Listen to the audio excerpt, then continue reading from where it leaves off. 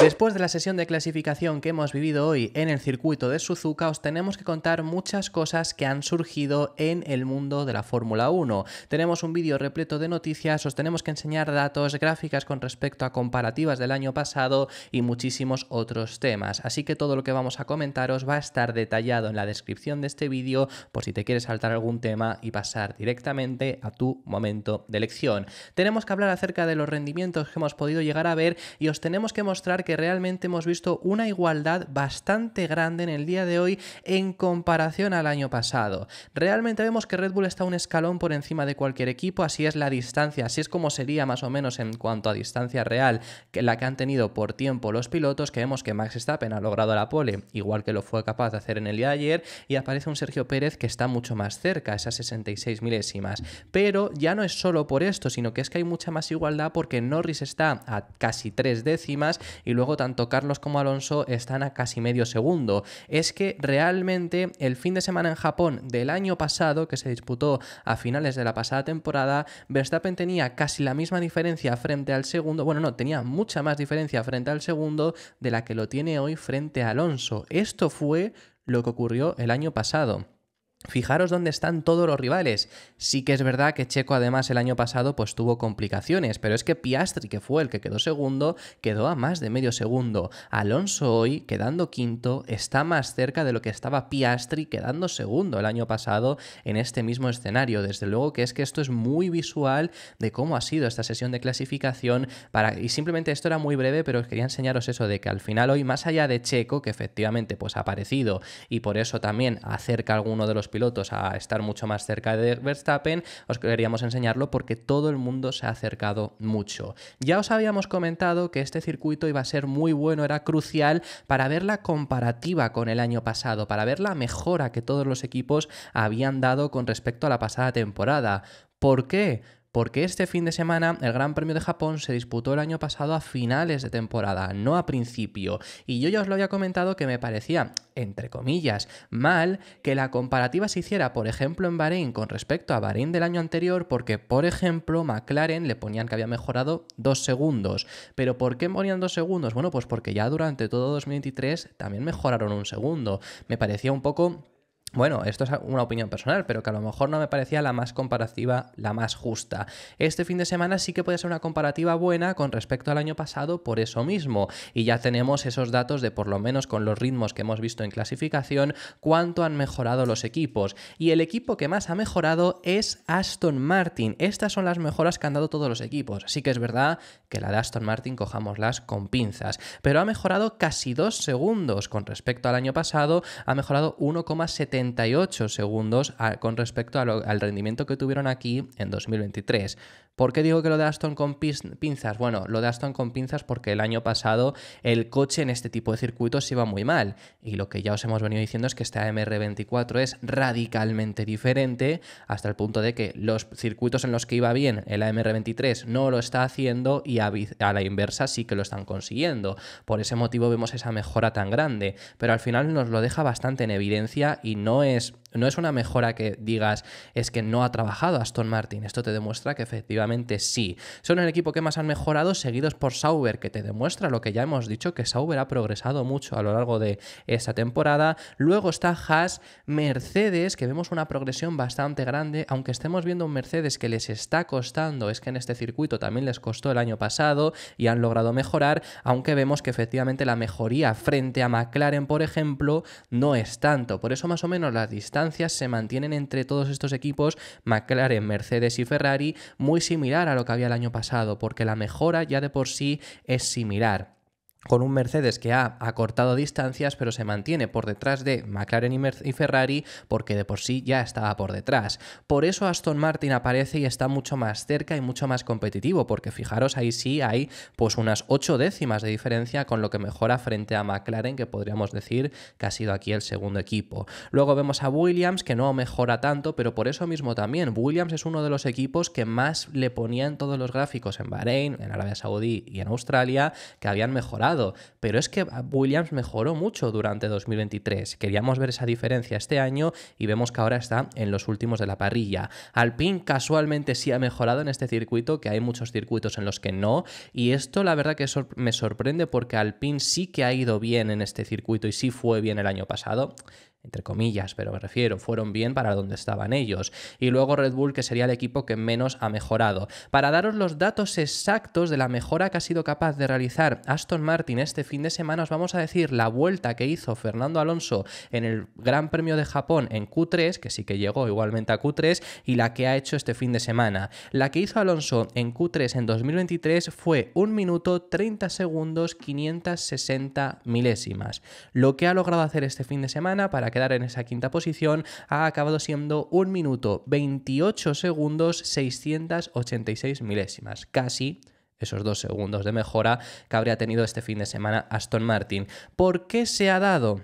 Ahora os vamos a explicar por qué se ha dado esa mejora tan grande de Aston Martin, más allá del hecho de que es radicalmente diferente, pero antes de comentaros todo esto, también os quiero enseñar este gráfico que siempre os enseñamos después de la quali, para además deciros que Aston Martin, os vamos a hablar especialmente de la carrera en el siguiente vídeo que vamos a realizar en el canal, pero que Aston Martin realmente se mantiene como ese quinto equipo. Esto es, sí que es verdad que es mezclando los eh, sectores ideales, que al final, pues bueno, por ejemplo, Checo ha ido eh, mejor en unos sectores que lo que ha ido Verstappen, entonces esto es mezclar esos, esos sectores para ver la mejor vuelta potencial que podrían haber hecho todos los equipos. Y vemos que realmente se mantiene muy similar a lo que pensábamos con un Red Bull, que es el primer equipo, McLaren, que sería segundo, un ligeramente superior a Ferrari en este circuito, se les adaptaba muy bien. Yo por lo que habíamos visto no pensaba que se fuese a dar, pero por lo menos en ritmo de clasificación sí que ha dado un McLaren que sigue siendo aquí el segundo mejor equipo, seguido por Ferrari, seguido por Mercedes y seguido por Aston Martin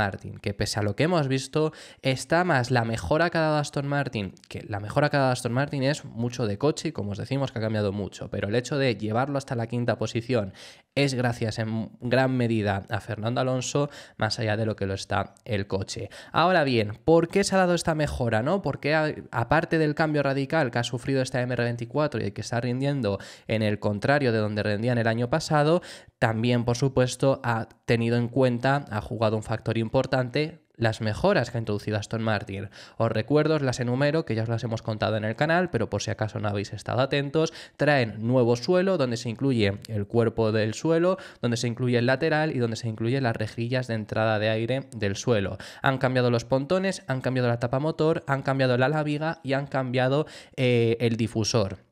Esas han sido las mejoras que han introducido. Ellos ya nos habían dicho que tampoco era una mejora que digas vamos a pelear contra Red Bull, por supuesto que no, pero era mejorar todo el rendimiento, está muy enfocado en el ritmo de carrera y veremos mañana, veremos en, el siguiente vídeo, os contamos las expectativas que tienen, pero efectivamente consideran que el hecho de haber mejorado tanto este fin de semana en Japón también se ha dado gracias a esas mejoras y el ser tan competitivos y acabar finalmente Alonso en esa quinta posición. Importante, sobre todo porque este circuito es muy complicado. Eh, no tenemos un coche especialmente bueno en curva rápida, pero el paquete aerodinámico yo creo que sí que muestra, muestra potencial. ¿no? no voy a cuantificarlo, pero parece que estamos más cerca con este paquete aerodinámico. O sea que en general positivo. Además, el propio piloto asturiano también comparte la opinión de que estas mejoras han contribuido a la gran posición de clasificación que ha obtenido, que ahora os hablamos al respecto sobre esto, pero continuando sobre estas mejoras, muy interesante también lo que comenta Alonso, y es que ya sabíamos que ayer no las llevó, os lo enseñamos incluso en imágenes porque había gente que seguía diciendo que sí que Alonso las llevaba, ya os contamos que no, y os lo, os lo mostramos incluso con imágenes, hoy las ha mostrado, eh, ya hoy ya las ha montado y ayer ya os contábamos que el hecho de llevarlas en un coche y en el otro no, Aston Martin lo hacía para poder sacar esa comparativa. Finalmente han decidido, por los pocos datos que pudieron sacar, porque ayer se pudo sacar pocos datos, que sí que era buena la mejora y que la iba a utilizar Fernando Alonso. Y lo que también dicen el día de hoy es que les ha venido muy bien también tener a el propio Fernando Alonso que no usó las mejoras en el día de ayer para ahora con solo él incluso sacar la comparativa entre especialmente libres 1 y libres 3 poder comparar los datos y ver, cuantificar, mejor dicho, dónde está esa mejora. How much do you think this upgrade package has helped you make that step, and how excited are you about the prospect of fighting for better results tomorrow? Uh, it did help for sure. It's difficult to quantify. Um, I think it's more to the team now to analyze. Yesterday I had the old package, today I have the new package, so they have all the data. Uh, so tonight maybe we, we know more, but uh, yeah, the problem in, in, Formula One is that when you get a new step forward, you are just waiting for the next one. It's, it's never enough. This is a unlimited search for performance. Uh, so let's see on, on, the next one. Además, hablando acerca de Fernando Alonso, lo que comenta es que no se esperaba estar en la cuarta en la quinta posición en la que ha conseguido terminar, y es que no es que solo haya sido quinto, es que además se ha quedado a cuatro milésimas de ser cuarto. O sea, podría haber salido perfectamente Fernando Alonso en segunda fila, va a salir en tercera, por lo menos algo bueno en el lado, en el lado limpio, pero va a salir en esa tercera, pero se ha quedado a cuatro milésimas, digamos cinco, porque lo hubieran, si hubiera empatado con, el tiempo de Carlos, hubiera mantenido Carlos, eh, aunque hubieras tenido el mismo tiempo, se hubiera puesto por delante Sainz, porque lo hizo en un momento anterior en su vuelta, pero cinco milésimas más rápido, que eso es una curva quizá algo diferente que lo hubiera hecho y habría conseguido quedar en esa cuarta posición, algo de lo que desde luego no se esperaba. La verdad es que he sentido bien el coche, eh, hemos sido bastante competitivos en la crono y, la verdad es que no me esperaba estar tan arriba, ¿no? a, cuatro décimas de la pole. Hace seis meses estábamos aquí en, septiembre a un, segundo y medio de Verstappen y ahora estamos a cuatro décimas, así que muy muy contento por eh, el paso del equipo y, bueno, delante de los Mercedes, delante de un, de McLaren, ha sido, ha sido una buena crono. Tal era así que no se lo esperaba que al acabar el primer intento de Q3 lo que le comentaron es que estaba a medio segundo de Verstappen y dijo pues no sé dónde puedo sacar más tiempo, sinceramente. Eso es lo que estuvo diciendo, luego lo acabó encontrando. Y ha pasado algo curioso, lo vamos a ver también más adelante en el canal porque ha habido un piloto que lo ha comentado y os vamos a traer sus palabras. Pero ha pasado algo curioso que en Q3 ha habido pocos pilotos que hayan mejorado y Alonso ha sido uno de ellos. La pista no estaba mejorando y ahora, como digo, va a haber uno de los pilotos que nos lo va a contar. Entonces, ¿cómo ha sido capaz un Alonso que no veía forma de mejorar más? Quizás si mejoraba la pista, tú mejorabas, pero no mejorar en comparación contra tus rivales. ¿Cómo ha sido finalmente capaz de mejorar con una pista que no estaba mejorando y progresar frente a tus rivales? Lo que comenta Alonso es que ha ido más al extremo, que ha llevado el coche más al extremo y hacia donde realmente no estaba el coche para ponerlo, que ya os hemos dicho, por ejemplo, que era quinto equipo, ¿no? Quinto equipo es ser noveno. Es más, Pedro de la Rosa lo que ha comentado es que las expectativas era como muy bien ser séptimo, es decir, por detrás como poco todavía de Leclerc y de Piastri, quedar por delante de los dos Mercedes, pero al final no solo ha quedado por delante de los dos Mercedes, sino también de un McLaren y de un Ferrari. Eso lo ha conseguido, aparte de que, por ejemplo, Leclerc, la verdad que ha tenido una clasificación un poco mala, luego lo que como lo ha conseguido es llevando más ese coche al extremo, algo que hoy ha salido bien, no siempre lo hace y pone un ejemplo muy reciente en el cual también intentó hacer esto, no salió bien y salió perjudicado. Y también te escuchamos decir por radio que no sabías dónde mejorar tras el primer intento y que finalmente sí lo hiciste. Así que has notado una confianza especial, otra vez te has sentido conectado con el coche. Sí, he hecho una última vuelta en Q3 un poco por encima de las posibilidades. Esta vez ha salido bien en Melbourne, por ejemplo, eh, perdí el coche en la curva 6 y dañé. Cuando estás en ese límite del bien y del mal, eh, puede salir cara o cruz. y salió cara, pero, pero ha sido emocionante. Y claro, en el equipo Aston Martin, incluso esto lo ha comentado Mike Crack, que ha sido una sensación agridulce, porque sí, por supuesto, súper dulce Fernando Alonso en esa quinta posición, mejor de lo esperado y todo lo que quieras, pero Stroll ha quedado decimosexto. ¿Qué le ha pasado al Lance Stroll? ¿Por qué ha quedado fuera no de Q2? Es que no ha, no ha llegado a Q2. Ha sido muy curioso porque Alonso ha llegado a Q3 usando dos compuestos, es decir, uno en Q1 y uno en Q2. Ha hecho una vuelta y no necesitaba hacer más para que viéramos el nivel de ir sobrado, entre comillas. Y Stroll ha necesitado dos compuestos solo en Q1, es decir, los mismos que había utilizado Alonso para llegar a Q3, son los que ha necesitado Stroll usar en Q1 y no ha podido pasar con un coche que luego ha clasificado quinto, que luego ha estado peleando por las posiciones más altas. ¿Qué le ha pasado al Ancestral? Pues lo que él mismo ha comentado es que es uno de esos días en los que realmente no tiene respuestas, ha llegado a decir. Sus palabras son las siguientes, todo iba bien, pero hoy he ido muy lento, sin ritmo en el coche y sin ritmo en mí mismo en este coche. El coche parece rápido, o al menos Fernando fue rápido, así que no lo sé, no tengo más respuestas. Tenemos que mirar los datos, ver si los neumáticos y todo estaba funcionando correctamente en la ventana correcta. Es solo uno de esos días en los que no lo sé. No tengo respuestas todavía. Tenemos que mirarlo todo. Mi opinión al respecto sobre esto le está pasando, le, pasa desde el año pasado a Stroll. Cuando llegan mejoras importantes en el coche, ya sea más, menos importantes, pero cuando llegan mejoras, un paquete que cambia enormemente el coche, eh, sufre mucho. Le pasó en Canadá. En Canadá, Alonso quedó segundo con un paquete de mejoras que luego no funcionó fuera de Montreal, pero en Canadá sí funcionó y Stroll, ¿sabéis dónde clasificó? Decimosexto, fuera de Q1. Le pasó en Zambor, que sí que Zambor la verdad que fue mucho más tema Alonso, pero Alonso clasificó quinto, acabó segundo aquella carrera, hubiera sido tercero sin un error de Checo, y Stroll quedó, eh, bueno, no puntuó y quedó fuera de, Q, de Q3 también, quedó en Q2 si no recuerdo mal. Le ha pasado constantemente cuando el equipo ha traído mejoras y le ha pasado en la primera cita en la que se han traído mejoras, aún pese a haber tenido más rodaje con ellas mi sensación es que tiene que ir por ahí. Quien comentaba el hecho de que la pista no ha mejorado en Q3 es Carlos Sainz, que le han preguntado en Dazón España del por qué no ha conseguido hacer un mejor intento en, Q, en Q3, porque el primer, la vuelta que ha logrado hacer el madrileño ha sido el primer intento de Q2, de Q3, perdonad. Lo que comenta es eso, que es que la pista no ha mejorado, además de que su vuelta había sido extremadamente vuelta en el primer intento que han hecho en la última ronda de clasificación, pero a eso se le ha sumado que no estaba mejorando la pista, entonces no había una mejora natural, claramente. Solo han mejorado pocos pilotos que, pues en este caso Alonso ha arriesgado, también ha mejorado, si no recuerdo mal, Max Verstappen y Checo Pérez, Así que bueno, eso es lo que se ha acabado dando y esta es la explicación que daba Carlos Sainz. Queríamos saber si habías cometido un pequeño error en el segundo intento o si simplemente no había nada más que sacar al coche. No, de hecho nadie ha mejorado el segundo intento, creo que solo Fernando.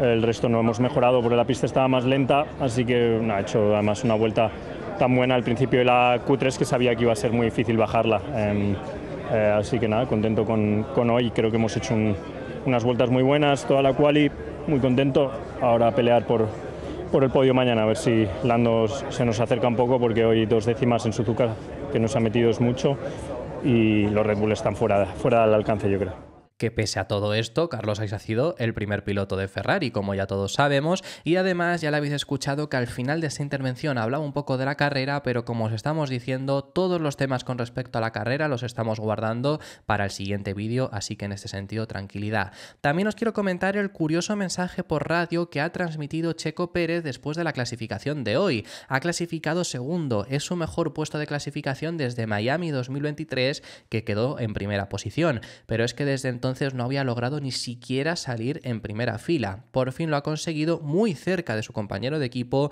66 milésimas, y lo que ha comentado por radio es, ya sabes cómo me tienes que motivar. Esto una respuesta a Christian Horner, que era quien se había pronunciado por radio para darle pues la enhorabuena por el resultado de clasificación y ha dicho eso, ya sabes cómo me tienes que motivar. ¿A qué se referirá Checo Pérez? ¿Vosotros qué pensáis? Yo me imagino, por supuesto, que a un tema de renovación. Quizá lo que le han dicho, lo que le han dejado claro es si rindes bien, si rindes al nivel que te mínimo te exigimos, vas a tener la renovación, si no te vas a tener que marchar. Yo creo que irán por ahí los tiros, pero la verdad que no sé muy bien a qué se referirá con eso de que le han conseguido motivar para quedar en esa segunda posición. Lo que sí que sabemos, y aunque este circuito es uno en el que a Red Bull se le iba a dar muy bien, ya os habíamos avisado sobre esto, Verstappen ha estado muy dominador en los dos últimos años, ha ganado aquí las dos últimas ediciones, ha hecho las dos últimas poles también de este circuito, Red Bull se le da bien, Verstappen se le da aún mejor. Y ha quedado a 66 milésimas en quali que Checo lleva desde principio de temporada diciendo que sobre todo quiere mejorar en clasificación, era el punto en el que necesitaba mejorar porque es el punto donde más se le estaba distanciando Verstappen. Ya os contamos que por ejemplo el ritmo de ambos en Arabia Saudí estuvo muy parejo, pero realmente Checo, que donde se generó la distancia que tuvieron en carrera fue que Checo tuvo que adelantar algunas posiciones en pista. Entonces eso es lo que más le estaba costando, aquí lo ha conseguido. Ojalá tengamos esa pelea por la victoria mañana, que sobre eso, como os digo, os lo comentamos en el siguiente vídeo. Otro piloto que ha acabado muy contento en el día de hoy ha sido Lando Norris. Realmente Norris finaliza en la misma posición que acabó el año pasado en la cual en la cual y en la clasificación la única diferencia es que no tiene a Piastri delante suya, sino que tiene a Sergio Pérez. Pero ha acabado muy contento porque han quedado por delante de Ferrari, algo que no se esperaban. Yo tampoco me lo esperaba porque realmente, aunque este circuito se le dé bien a McLaren, parecía que Ferrari era claramente esa segunda fuerza y pueden llegar a ser vulnerables en circuitos que se le dé bien a otros, a otros equipos como parece en este punto. McLaren ha sido el caso que ha estado algo más fuerte en este circuito, al menos a una vuelta, veremos en carrera, pero se ha mostrado muy contento Norris no solo por eso, sino por de por sí ese tercer puesto y estar más cerca de Red Bull, algo que les crea motivación adentro del equipo de Walking. Ha estado reñido entre mucha gente, nosotros, Mercedes, Aston y Ferrari. Entre ocho coches sabíamos que iba a ser muy complicado, así que salir primeros detrás de los dos más rápidos es un buen trabajo por nuestra parte y estoy muy contento. Creo que si nos remontamos a donde estábamos el año pasado, estábamos incluso más lejos, creo que a cinco décimas de la pole que ya os hemos explicado, lo hemos enseñado antes, que efectivamente estaban a cinco décimas. Esta es la primera pista a la que hemos vuelto donde tuvimos nuestras mejoras la pasada temporada, así que creo que es una nuestra mejor comparación de cómo hemos mejorado durante el invierno y estamos bastante más cerca, así que creo que es una buena señal, que eso es lo mismo que os estábamos comentando y es que fijaros que McLaren aún así ha mejorado hasta un segundo del año pasado al de aquí, que ha habido un muy buen trabajo, pero es la mejor comparativa que tienen frente al año pasado. Esto es lo que comentaba Lando Norris y otro piloto que se ha mostrado muy contento pese a que la imagen desde fuera no sea tal es Lewis Hamilton. La imagen desde fuera no es muy contenta por parte del equipo Mercedes porque la verdad venían de unos libres 3 en los cuales parecía que habían conseguido solucionar sus problemas y luego al final en clasificación han vuelto a rendir mal. Más allá de haber solucionado o no sus problemas, yo mi impresión, ya os lo, he comentado en el propio vídeo de los libres 3, es que quizás sí que eran capaces este fin de semana de estar ahí, de estar algo más cerca, de estar peleando por el hecho de que haya unas temperaturas más bajas. James Allison ha dicho que el problema, por lo que en libres 1 van mejor que en libres 2, en los libres 2 van mejor que en libres 3 y así sucesivamente, es las temperaturas. Cuando va pasando los días, especialmente de libres 1 a libres 2 y de libres 3 a clasificación, y cuando hay más rodaje en pista, cada vez hay más calor, por el momento del día o por haber rodado más y porque haya más goma y la temperatura de la pista va aumentando. Y eso es lo que le está fallando a Mercedes. Yo pensaba que aquí iban a poder estar algo más cerca porque las temperaturas son bastante más bajas, pero sí que es verdad que han aumentado bastante al no llover entre libres 3 y clasificación. Entonces eso les ha podido llegar a perjudicar independientemente Hamilton, como os digo, se muestra muy contento, pese a que esa sea la imagen desde fuera. Sobre todo ¿por qué? Porque pese al resultado, que aún así pues bueno, no ha sido el mejor resultado posible. Lo que comenta Luis Hamilton es que él se ha sentido bien con el coche, pensemos que es la primera clasificación del año que logra superar a su compañero de equipo, no lo había hecho hasta ahora, han logrado estar mucho más cómodos en el monoplaza y considera que aquí han encontrado por fin esa dirección hacia la que ir para conseguir sacar el máximo rendimiento a este W15, que ya os hemos contado que llevaban haciendo experimentos desde el Gran Premio de Australia, aquí también los iban a hacer y comenta Hamilton creer que ya han encontrado esa dirección. Ha sido el primer fin de semana en el que no he hecho ninguna locura con la puesta a punto y no he empezado a probar muchas cosas. He vuelto a la normalidad, el coche está en una ventana de trabajo más agradable y me encanta pilotar hoy. Sé dónde está el coche y no es lo suficientemente fuerte y lo sé ahora. Lo tengo que decir, les tengo que decir que aprieten en esas áreas. Personalmente creo que vayamos en una buena dirección. El coche ha estado en un punto más dulce y espero que continúe en las próximas carreras. Tenemos que seguir añadiendo más rendimiento. Es normal que no estemos contentos con, el séptimo puesto. Ha habido un par de momentos en los que podríamos haber estado más arriba. Esperaba quedarme más cerca, pero no ha podido ser. Lo que también nos tenemos que comentar, y ya finalizamos con el vídeo, este es el documento de la FIA que ha publicado porque han recibido Mercedes una sanción de 5.000 euros por un safe release que ha provocado Mercedes con George Russell Y Oscar Piastri. Os lo hemos contado, esto ha sido en la Q1, yo ya os contaba que no creía que a George Russell le pusieran sanción, no se la han puesto a él, se la han puesto al equipo con esos 5.000 euros. Los unsafe release normalmente, bueno, normalmente no, son culpa de los equipos, hay veces que el piloto tiene que pagar porque en una carrera pues puedes haber perjudicado la carrera de otro, entonces hay que perjudicar, por así decirlo, al propio equipo, pero esto es lo que han recibido hoy en el equipo Mercedes, 5.000 euros de multa por ese unsafe release.